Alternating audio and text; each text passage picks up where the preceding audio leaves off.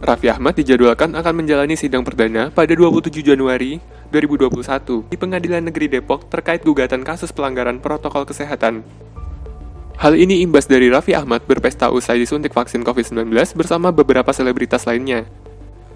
Raffi Ahmad tidak sendiri dalam acara yang disinyalir pesta ulang tahun bos KFC itu.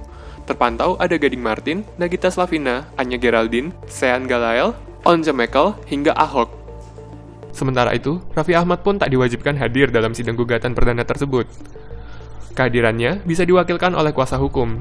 Nantinya, sidang gugatan akan dipimpin oleh Majelis Hakim Ketua Majelis Eko Julianto dan dua hakim anggota yakni Divo Ardianto dan Nugraha Madika Prakasa. Gugatan perbuatan melawan hukum oleh Raffi Ahmad sebelumnya dilayangkan oleh advokat publik David Tobing ke Pengadilan Negeri Depok dengan nomor perkara 13 PDTG 2021 PN DPK Bapak satu anak ini dituduh telah melanggar protokol kesehatan di masa pandemi COVID-19. Hal itu setelah Raffi Ahmad terpergok berpesta di rumah bos KFC Indonesia, Ricardo Galael, sehabis divaksinasi bersama Presiden Joko Widodo di Istana Negara, Rabu 13 Januari 2021 lalu. Saat menghadiri pesta, Raffi Ahmad tidak datang sendiri, ia datang ke pesta dengan rekan-rekan selebritis lainnya. Bahkan, Komisaris Pertamina Basuki Cahayapurnama alias Ahok juga ikut hadir di pesta tersebut.